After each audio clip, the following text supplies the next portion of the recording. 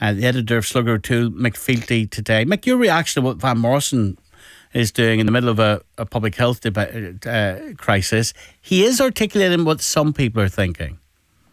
Yeah, what some people are thinking, and more importantly, what some people are feeling. But to be honest, I preferred it when Van was singing about cleaning windows when he was still one of us. I mean, these days, you know, he's a great artist, but he owns five or six houses. He's a millionaire.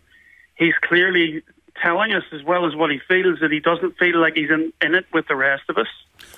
And well, that's know, not true. You could ar- you could argue that actually he feels he's in it with lots of people who you know they have nothing to do with his life or his life circumstances, but they feel restricted and they feel enslaved.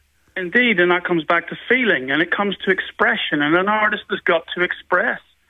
But, uh, you know, an artist has also going to express something valuable about human experience.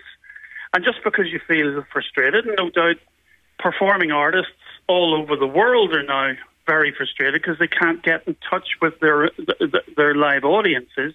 But that doesn't alter the reality of this thing that it's not going to go away just because you sing a song about it. You know, and I don't think we should denigrate Van too much, but we shouldn't take him too seriously either because. Well, the head of press at the Department of Health is calling him publicly an arse. David Gordon. Well, you know, uh, uh, he might say that. I couldn't possibly comment. You know, I'm a great fan of of uh, Van's early work, and as I say, cleaning windows. I used to be a cleaning a window cleaner myself back in school days uh, on a Saturday, so I, I get where that's all coming from.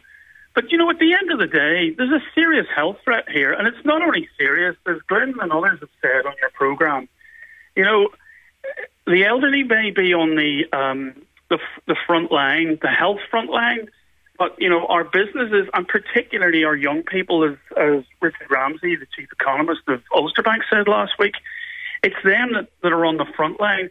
And those you know, at the end of the day, when you're 70 plus or nearly 75, or maybe just gone past 75, these are not things that necessarily you think about or you concern yourself about. But it's absolutely clear to me that it's collective action that flattened the curve earlier in the year. We're now going into a flu season, which is going to complicate the COVID season. Um, and it's absolutely and, and, the partial lockdown is a way of really just managing that and risk, but it cannot be managed top down. It's got to go bottom up. And to say that Van's intervention here was deeply unhelpful uh, by one of Ulster's greatest expressive individuals, well, we aren't just all individuals in this crisis. We have to do it together. Mick, thank you very much indeed.